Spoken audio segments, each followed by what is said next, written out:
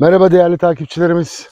Bugün Balıkesir Gönen Çaloba mahallemizdeyiz. Çaloba mahallemiz Gönen şehir merkezine 12-13 kilometre mesafede. Görmüş olduğunuz gibi şirin bir köyümüz ve hemen köyümüzün yanında köy içi olarak geçmekte olan 720 metrekare yerimiz burada. Hemen şu görmüş olduğunuz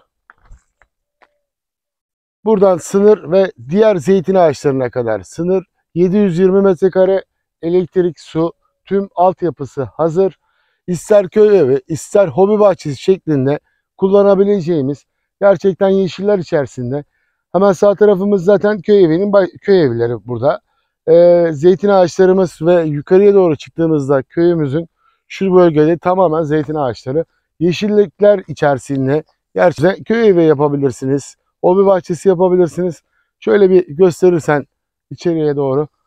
Evet değerli takipçilerimiz Balıkesir Gönen Çalıoba köyü 720 metrekare köy yanı. Gerçekten zaten hemen eee, ne yapar? 2-3 kilometre sonra da Balıkesir Gönen ana asfaltına yakın konumda köyümüz şirin küçük bir köyümüz.